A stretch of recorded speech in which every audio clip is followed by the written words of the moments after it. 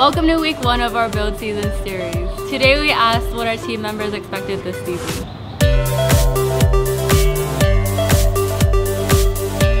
Well, being a senior this year, I think I want to instill in the underclassmen basically the ability to work on the robot in a tactile fashion.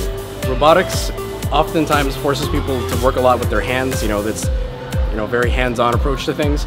And I think the seniors' number one priority should be to give them that feel about working with, you know, metal, working with wrenches and various tools, in order for them to have experience to build robots when we're not here to help them. Um, this year I want to work better with my team so we can collaborate better and I guess be more productive in our work.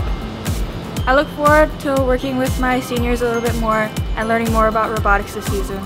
So this season I am looking forward to not only teaching the underclassmen but learning from them as well in many different ways.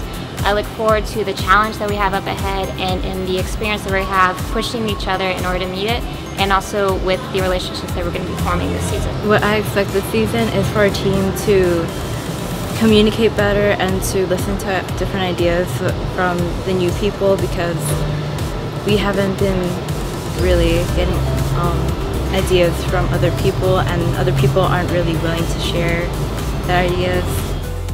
Expect you guys to do well. Expect you guys to have fun most of all. Work hard, work together as a team. Team is team is the best thing to do. You guys get all of you guys working together for the same goal. You guys will get to where you guys gotta go. You guys need to have a goal, have a means to get there, and that's what I expect. Good luck to all teams and thanks for watching. See you next week.